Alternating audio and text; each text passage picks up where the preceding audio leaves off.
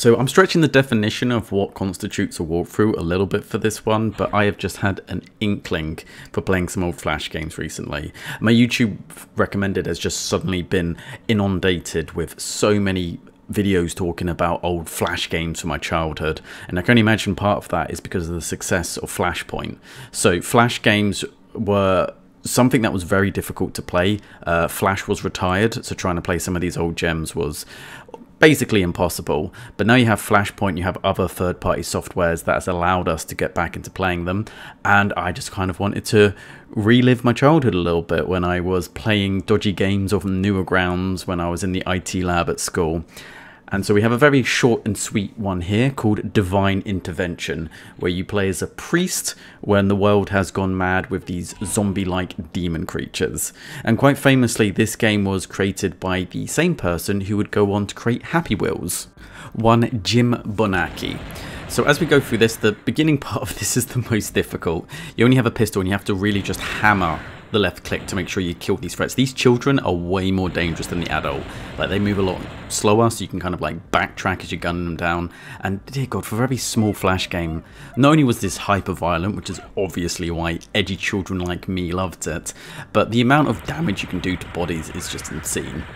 So when you get the Uzi, you can just hold down the click, and kind of what you want to do is just be aiming around knee height, because children will be running at you, and you want to make sure that you can kill them. If you shoot them quick enough with the Uzi, it slows them down a little bit, and as we go to pick up the shotgun, make sure you backtrack a little bit, kill that little bitch, before we get the shotgun, which we are immediately going to not use. It's just not as effective to use. It's just keep firing, you have unlimited ammo, and even if you don't, so when you shoot them in the legs, these adults, you won't be doing any damage to them, but you can at least be hitting them enough to stun them in place. And then you have these little mage ones, so you can either duck under them or jump over, depending on where his finger's pointing. And flash game joy, just moon sliding along. Uh, the demonic priests that you fight, you want to keep shooting them even if they have their shield up. So I made the mistake the first time I came back to doing this, is assuming that eventually the shield goes down. No, keep shooting it until it, that's what actually forces the shield down and then they die. And as you move forward, a little bit of a cameo that's going to come up. How on earth is that half-dead guy still standing? Uh, yeah, one of the old guys from Happy Wheels, same model. We could shoot him, but we're just going to give him, can live a little pat on the head. He's just, he's just scared, bless him. And then the final point, very short and sweet game. Uh, we need the shotgun for the final boss. The Uzi will not hurt this guy. Uh, probably a good idea to keep ducked because a few of his attacks come over the top and the other attacks that will force us to jump up we can do quickly. So just keep your weapon aimed at his head and make sure you react quickly. When he points at us like then he'll shoot down a bolt of lightning. If you don't shoot him quick enough then he'll just zap your head off. A proper brain burst from warhammer.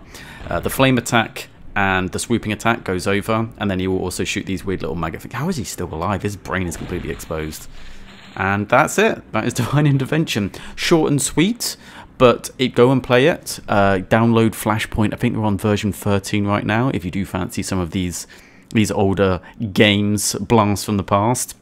And this game is a lot harder than it looks. It's only, what, this video is like what, under four minutes, so it looks pretty simple. But I do not want to tell you how many attempts it took just to get that.